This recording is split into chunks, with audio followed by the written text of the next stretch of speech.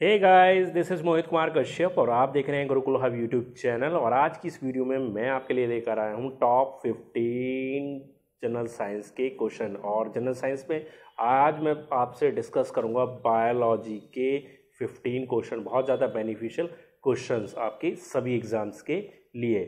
अगर आप ये फिफ्टीन क्वेश्चन जानते हैं तो फिर आपके लिए ज़्यादा प्रॉब्लम नहीं होने वाली है किसी भी एग्ज़ाम में, क्योंकि बार बार इस तरह के क्वेश्चन पूछे जाते हैं। तो चलिए स्टार्ट करते हैं। फ़र्स्ट क्वेश्चन है कि dialysis is related to. Dialysis किससे संबंधित है? तो चार ऑप्शन है हमारे पास। लीवर है, किडनी है आइज़ है, ब्रेन है। सबसे पहले अपने पास कॉपी पेन रख लें, क्योंकि फ़र्स्ट ऑप्शन फ़र्स्ट क्वेश्चन है इसका ऑप्शन आप लगाते चलें। और जैसे मैं आंसर बताऊँ, उसको चेक करते चलें कि आपका आंसर सही है या गलत है। ठीक है? तो डायलिसिस संबंधित है, जिगर, गुर्दा, आँखें, मस्तिष्क। जो सही आंसर होगा डायलिसिस का, वो होगा गुर्दे, यानी कि किडनी। क्लियर और किडनी की एक खासियत होती है कि जो ब्लड के अंदर ऑर्गेनिक मॉलिक्यूल्स होते हैं ऑर्गेनिक उनको रिमूव करने का काम करती है ये किडनी। क्लियर गाइस और जो कि they serve the body as a natural filter of the blood and remove water soluble wastage such as urea and ammonia ammonium and they are also responsible for the reabsorption of water glucose and amino acids clear guys तो जितने भी इसके अंदर molecules होते हैं organic उनको remove करती है जैसे कि वाटर सॉल्यूबल वेस्ट होती है ठीक है? और नेचुरल फ़िल्टर करती है ब्लड को आ, हमारी किडनी और उसको यूरिया और जो अमोनिया होती है उसको अलग अलग डिवाइड कर देती है ठीक है? और ये पूरी तरह से रिस्पॉन्सिबल होती है reabsorption of water glucose and amino acid के लिए। क्लियर तो फ़र्स्ट क्वेश्चन का आंसर हो गया किडनी ठीक है? और गाइस आप हमारी वीडियो अन अकेडमी पर भी देख सकते हैं। अन अकेडमी पर आप सर्च कर लीजिए मोहित कुमार कश्यप। ठीक है? Unacademy learning app play store से डाउनलोड कर लीजिए, जहाँ पर मैं एसएससी रेलवे सी टेट यू के एग्ज़ाम के लिए बेनिफिशियल कोर्सेज बनाता हूँ। तो आप इसे फॉलो कर लीजिए मुझे मोहित कुमार कश्यप के नाम से सर्च करके। लिंक मैंने डिस्क्रिप्शन में भी दिया है। चलिए, चलते हैं अपने सेकंड क्वेश्चन पर। सेकंड क्वेश्चन आता है हमारा कि where is the urea separated from the blood urea रक्त से कहाँ अलग होता है? ठीक है? तो कौन सा पार्ट है जो ये अलग करता है? तो वो होता है, जैसे कि मैंने अभी बताया, गुर्दा, यानी कि किडनी ही यूरिया और रक्त को अलग करता है। ठीक है? The process ultrafiltration occurs at the barrier between the blood and the filtrate in the renal capsule in the kidney तो दोनों को बिल्कुल अलग करने का काम करता है। ठीक है? और जितनी भी हमारे बॉडी के अंदर टॉक्सिक वेस्ट होती है, ठीक है? वो भी ब्लड से ये अलग करता है और यूरिया को अलग पार्ट में डिवाइड करता है। आगे चलते हैं। थर्ड क्वेश्चन है थर्ड है कि the average blood flow through kidneys per minute is प्रति मिनट गुर्दे के माध्यम से औसत रक्त प्रवाह कितना है? तो ये होता है 100 ये होता है 1200 सीसी ठीक है? 1200 सीसी होता है। Kidney are the most important organ हमारी बॉडी का सबसे मोस्ट इंपॉर्टेंट ऑर्गन है और ये करीब करीब 1500 लीटर ब्लड को प्यूरिफाई करता है और इसको कन्वर्ट करता है डेढ़ लीटर में, ठीक है? मतलब जो 1500 लीटर इसने डेली बेसिस पे जो ब्लड को प्यूरिफाई किया, उसको डेढ़ लीटर यूरिन में कन्वर्ट कर देता है, ठीक है? तो जो ब्लड का जो वेस्ट पार्ट होता है, वो यूरिन बनकर मतलब जो डेढ़ लीटर होता है, डेढ़ लीटर यूरिन पर डे ये अलग करता है। और 1200 सौ M of blood flows through both the kidney per minute मतलब 1200 सौ जो ब्लड होता है, उसको दोनों ही किडनी, दो किडनी होती है ना, दोनों ही किडनी पर मिनट के हिसाब से उसको, उसका फ्लो किडनी के अंदर चलता रहता है। ठीक है? आगे चलते हैं फोर्थ क्वेश्चन पर। फोर्थ क्वेश्चन है when kidneys fail to function there is accumulation of जब गुर्दे कार्य करने में विफल हो जाते हैं तो उसमें किसका संचय होता है? ठीक है? जब गुर्दे काम करना बंद कर दे तो उसमें किसका संचय होता है? तो उसमें होता है nitro nitrogenous waste produced in the blood. रक्त में नाइट्रोजन युक्त अपशिष्ट अपशिष्ट पदार्थ। ठीक है? फोर्थ ऑप्शन हो जाएगा रक्त में नाइट्रोजन युक्त अपशिष्ट पदार्थ। क्लियर? तो लगभग एक ही कॉन्सेप्ट है जो मैंने बताया है ठीक है? चलिए आगे चलते हैं अपने नेक्स्ट क्वेश्चन पर। फिफ्थ क्वेश्चन है हमारा the dialyser is use for the work of dialyser का उपयोग के कार्य के लिए किया जाता है। किसके कार्य के लिए किया जाता है डायलिजर का उपयोग? तो वो भी होता है गुर्दे यानी कि किडनी के लिए ठीक है? The treatment option for kidney failure ठीक है? किडनी फेलियर में uh, होता है पेरिटोनियल डायलिसिस जिसको बोला जाता है पीडी। ठीक है? पीडी बोला जाता है पेरिटोनियल डायलिसिस और हेमोडायलिसिस एंड किडनी ट्रांसप्लांट। तो इसमें इसका डायलिजर का यूज़ किया जाता है। आगे चलते हैं नेक्स्ट क्वेश्चन पर। नेक्स्ट क्वेश्चन है, the cross section of a stem of tree has 50 rings. What is the age of the tree? एक तने के पार अनुभाग में 50 व्रत हैं तो पेड़ की उम्र क्या होगी? ठीक है? तो पेड़ की उम्र होगी, पचास वर्ष होगी क्योंकि उसमें पचास वृद्ध दिखाई देते हैं सर्कल दिखाई देते हैं, ठीक है? पचास सर्कल दिखाई देते हैं तो उसकी उम्र भी पचास ही होगी।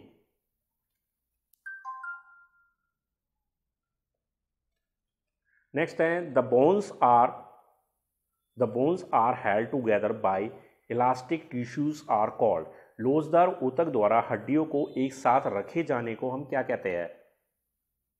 तो ऑप्शन हैं उसको बोला जाता है लिगामेंट्स फिबोरस टिश्यूज फिवरिन या फिर मस्कुलर टिश्यूज क्या हो सकता है आंसर तो उसका सही आंसर होगा लिगामेंट्स स्नायु बंधन।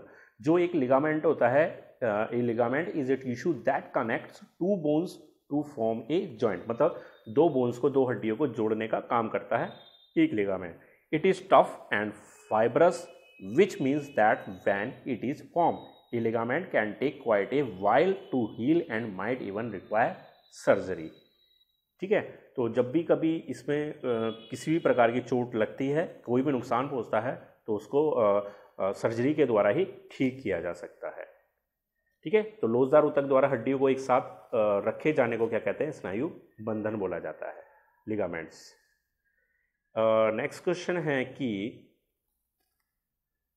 plaques form on teeth are made up of दांतों पर निर्मित फ्लैक्स किस से बने होते हैं?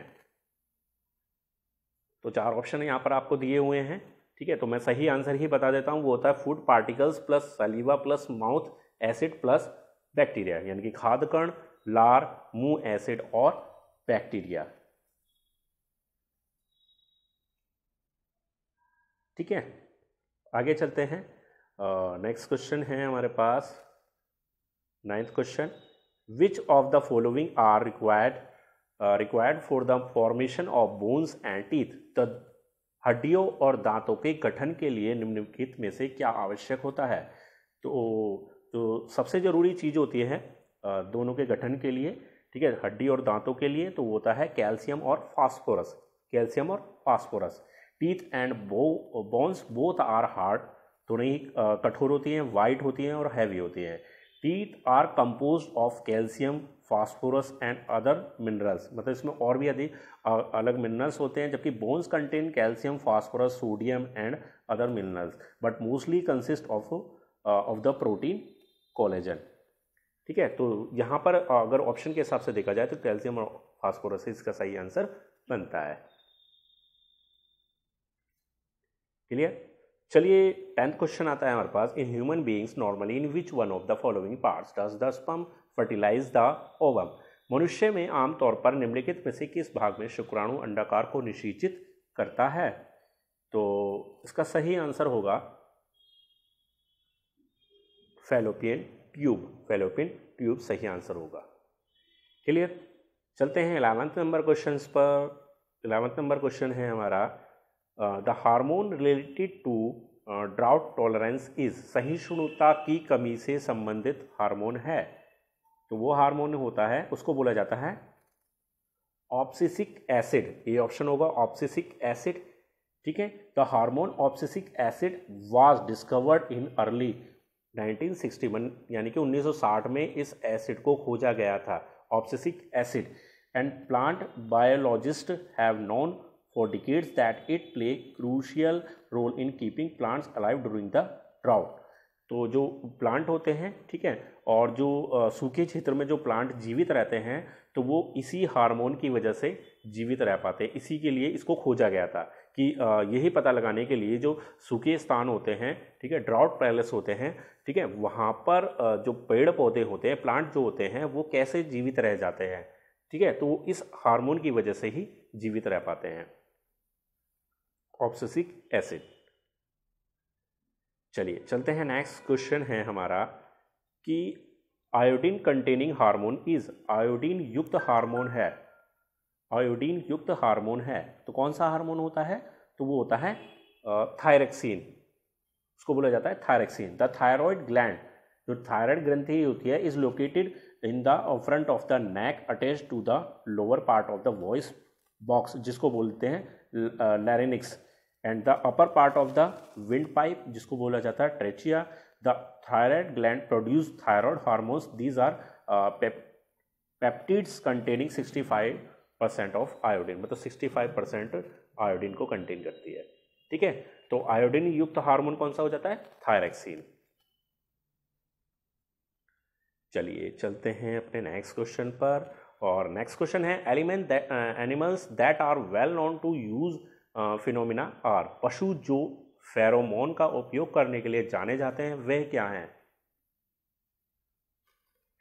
तो वे होते हैं आंस चीटी, ठीक है? उनको चीटी बोला जाता है।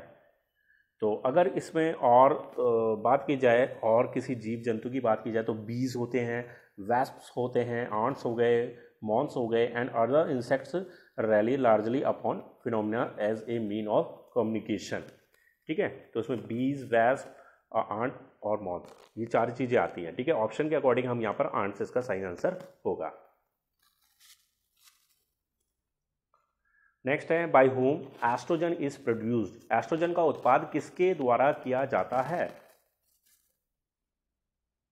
तो सही आंसर होगा इसका फॉलिसलीज ठीक है? फॉलिसलीज यानी कि फली। एस्ट्रोजन का उत्पाद किसके द्वारा किया जाता है? फॉलिसलीज फली के द्वारा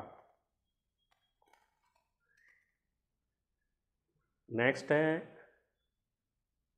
in the human body which of the following is ductless gland मानव शरीर में निम्नलिखित में से कौन सी एक लचीला ग्रंथि है? तो वो होती है अंतःस्रावी ग्रंथियाँ, एंडो, एंडोसरीन ग्लैंड्स, ठीक है? एंडोसरीन ग्लैंड्स, जिसको अंतःस्रावी ग्रंथि बोला जाता है। एंडोसरीन ग्लैंड्स जो होती हैं और internally secreting glands are ductless gland since they lack excretory ducts clear तो मानव शरीर में जब आ, कौन सी एक लचीली ग्रंथि है तो लचीली ग्रंथि का जो आ, नाम दिया जाता है वो अंत्यस्रावी ग्रंथि को ही दिया जाता है। क्लियर गाइस तो यहाँ पर हमने 15 क्वेश्चंस डिस्कस किए बेनिफिशियल क्वेश्चंस डिस्कस किए आपके आने वाले एग्ज़ाम के लिए। अगर आप एसएससी की प्रिपरेशन कर रहे हैं रेलवे की प्रिपरेशन कर रहे हैं यूपीएससी यूपी पीसीएस एग्ज़ाम है, या कोई और अदर ऐसा एग्ज़ाम है जहाँ पर जनरल साइंस के क्वेश्चन पूछे जाते हैं तो उसके लिए बहुत ही ज़्यादा बेनिफिशियल ये वीडियो होने वाली है। क्योंकि इस तरह के क्वेश्चन एग्ज़ाम में बहुत ज़्यादा पूछे जाते हैं बार बार पूछे जाते हैं। तो उसको अच्छे से प्रिपेयर कर लीजिए। साथ ही इसकी फ्री पीडीएफ डाउनलोड कर लीजिए। डिस्क्रिप्शन में मैंने टेलीग्राम ग्रुप ज्वाइन करने का लिंक दिया है। तो लिंक पे क्लिक करेंगे तो ज्वाइन का आपको ऑप्शन मिलेगा। तो टेलीग्राम ग्रुप आप ज्वाइन कर जाएँगे और वहाँ पर अभी तक हमने जो भी पीडीएफ प्रोवाइड कराई है, वो सभी पीडीएफ आपको फ्री ऑफ़ कॉस्ट मिल जाएगी। तो आज की वीडियो में बस यही क्वेश्चन आपको कराने थे। वीडियो आपको पसंद आई हो तो वीडियो को ज़्यादा से ज़्यादा लाइक करें शेयर करें और आपने अभी तक हमारे चैनल को सब्सक्राइब नहीं किया है तो चैनल को सब्सक्राइब कर लें। साथ ही बेल आइकन क्लिक कर लें ताकि आपको आने वाली सभी वीडियोज़ के नोटिफिकेशन मिले और सबसे पहले मिले। धन्यवाद।